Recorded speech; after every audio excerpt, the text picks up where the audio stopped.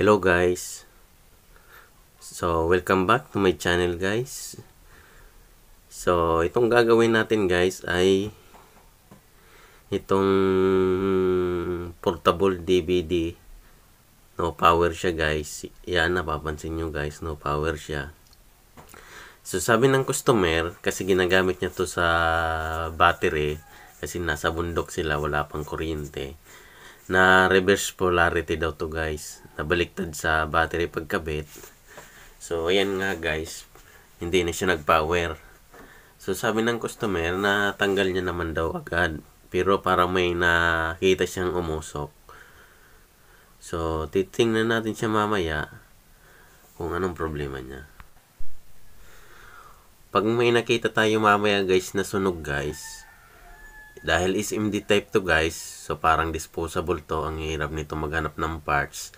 So ang gagamitin natin guys ay yung tinatawag natin na pinagbabawal na technique. yung pinagbabawal na technique natin guys ay ipapakita ko sa inyo mamaya. So yan talaga guys, no power siya. So tingnan na natin to guys. Let's get started.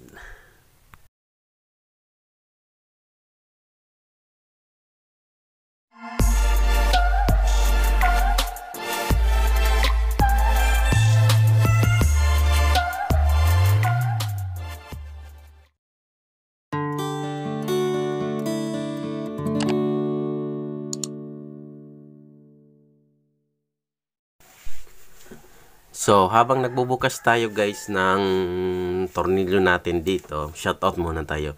Shoutout kay Del Taku Ayu. Taku Ayu. Shoutout kay Wilmer Reyes. Shoutout kay Elton J. Albacete. Shoutout kay Johnny Prey Nietes. Shout out kay Melchor Aviera. Shout out kay Jimmy Mangalos. Shout out kay Jose Gotlay. Shout out kay Ning Deloy. Shoutout kay Jeffrey Concepcion. Shoutout tayo kay Jojo Art. So, yan nga guys. Thank you very much. So, parang may naririnig kayo guys na parang mga manok yan guys. Kasi madaling araw ko na to inedit. Kagigising ko lang guys. So, binubuksan ko na to guys. So, titingnan natin kung ano yung tinamaan niya guys.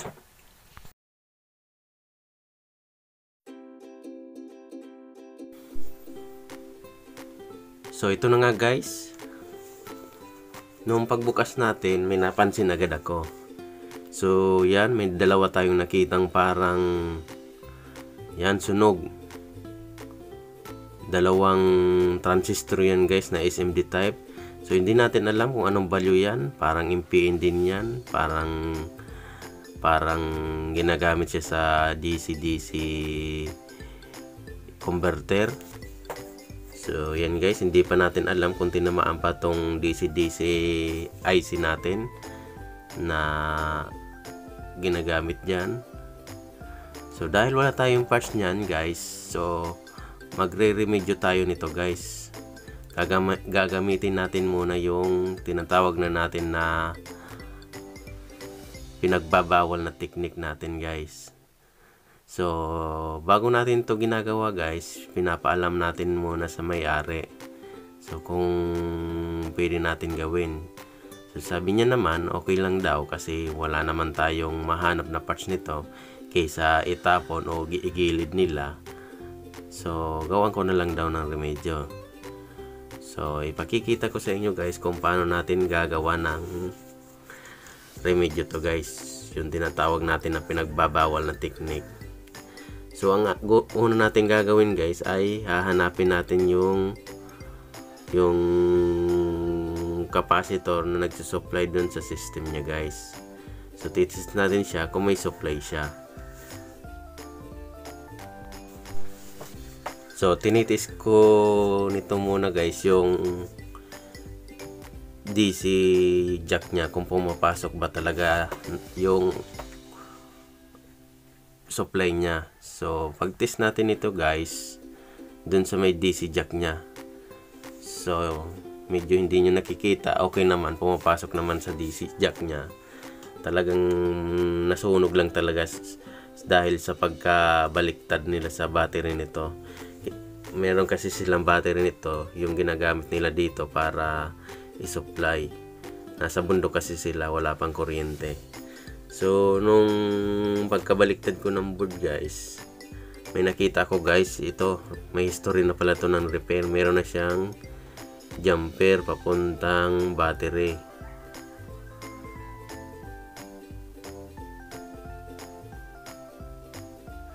So yan guys, nakikita nyo. So ang gagawin natin ay tatanggalin natin tong jumper na papuntang battery. Yung battery pack. Baka dati nasira na siguro ang charging nito kaya dinirekta papuntang battery.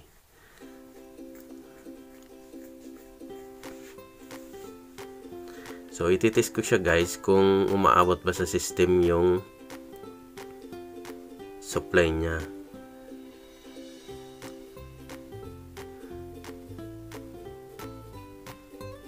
Yan, tanggalin ko muna to guys. Hindi umabot sa system niya guys yung supply ng DC jack. So papunta dyan, yung negative niya, ilalagay ko dun sa mga grounding niya. Tapos, yung positive, ititest natin dun sa capacitor na papuntang system niya.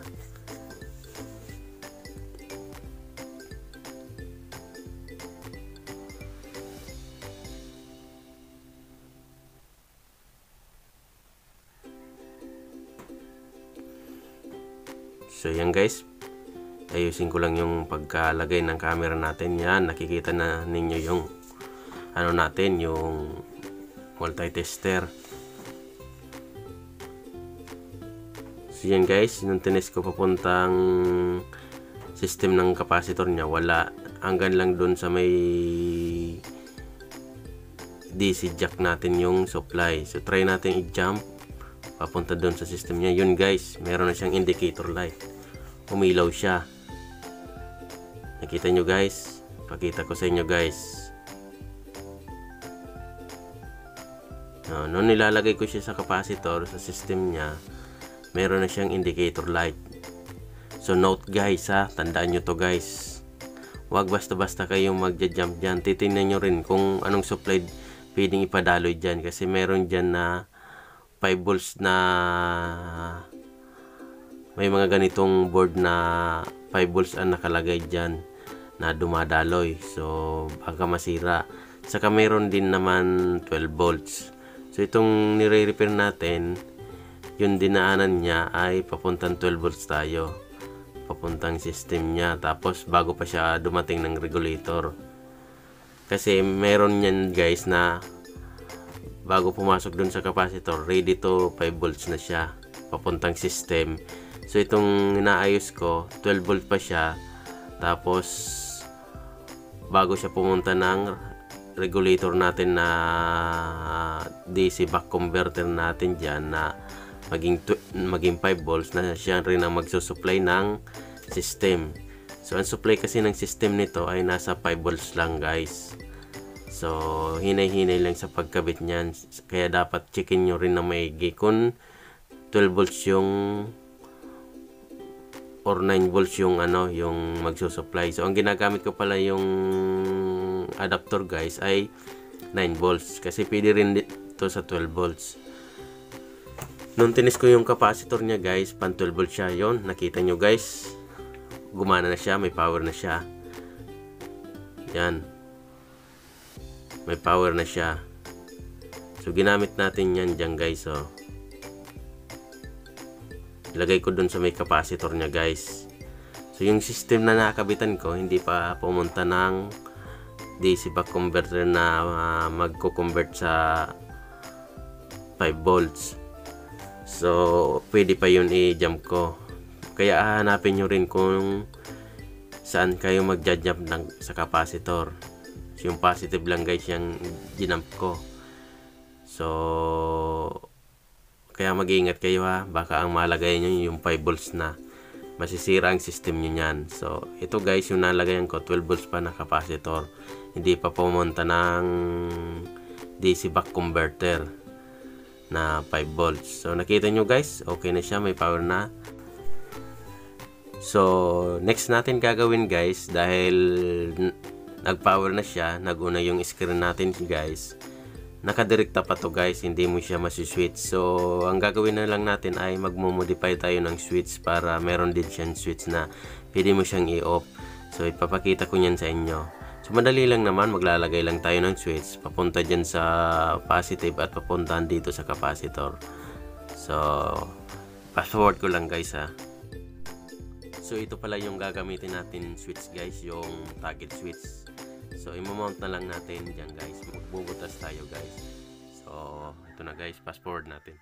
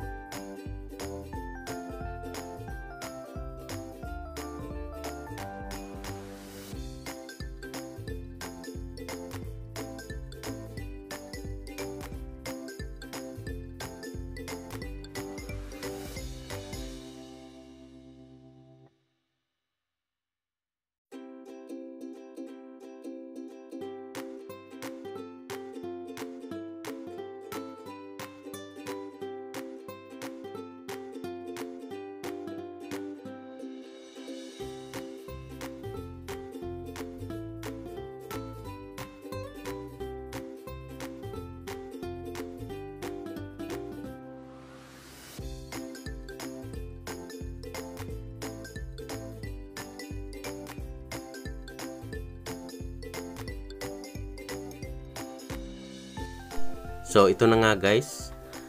Na i-mount na natin yung switch natin guys. So, yan na nga. So, nakalagay na dyan yung wire natin. Nasolder na natin dun sa pinag-jumperan natin kanina. So, ikabit na natin ito guys para matesting natin guys.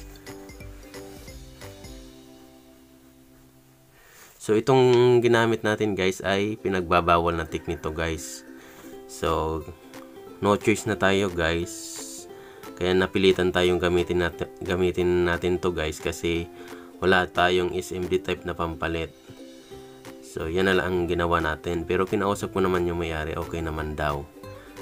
So kaysa itapon to guys or i-stack o ipagbili sa magbobote igawaan ko na lang daw ng paraan. At least makagamit sila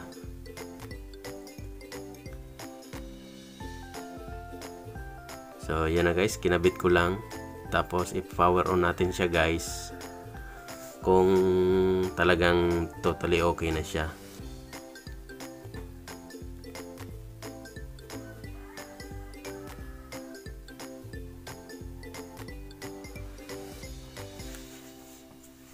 So, kung bago ka sa aking channel guys, at napadaan ka, so please subscribe, impahit na rin ang notification bell para ma-update ka guys kung may bago akong ginawang video. So, pa-hit na rin ng like button guys. So, sa una guys, parang pumuputi siya.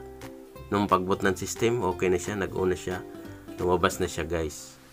So, nakita nyo guys, okay na siya. May switch na tayo. Yan, pinower off ko, power on ko. Sa una, parang puti siya. Pag nagumana na yung system niya, yan, okay na siya. So once again, thank you very much guys. Job done na tayo guys. Okay na.